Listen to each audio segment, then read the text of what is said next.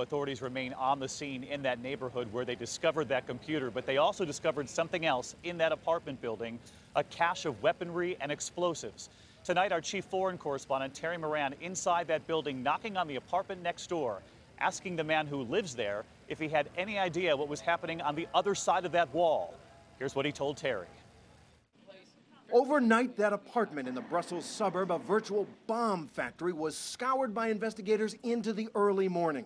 This shaky video of the search shot by a shocked neighbor. And inside, a grim find. Investigators were recovering about 33 pounds of TATP, the so called mother of Satan explosive used in the Paris attacks last November almost 40 gallons of acetone used to make TATP, detonators, a suitcase filled with nails and screws, and ventilators. A bomb factory in the middle of this Brussels neighborhood, and people have a lot of questions. How could the landlord not know? How could the government, which checks every rental, not follow up?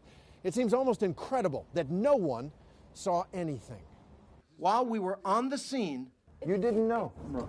A neighbor arrived. He told us he lives in the apartment next door to the suspected attackers, but saw only a bearded man come in and out.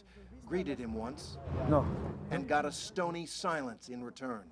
The neighbors tell us the suspected attackers were only up in that apartment for a few weeks. They moved in, they built their bombs, and they killed. And the urgent question now is how many more hideouts like that are there here? David? Terry Moran here in Brussels with me tonight. Terry, thank you.